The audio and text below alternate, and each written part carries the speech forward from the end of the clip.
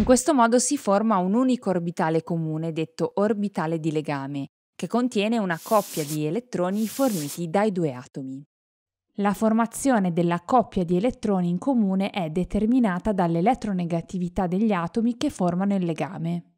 L'elettronegatività è la capacità di un atomo di trattenere su di sé gli elettroni condivisi. Dal punto di vista fisico, il carattere dipolare dell'acqua consente la formazione di interazioni elettrostatiche tra le singole molecole,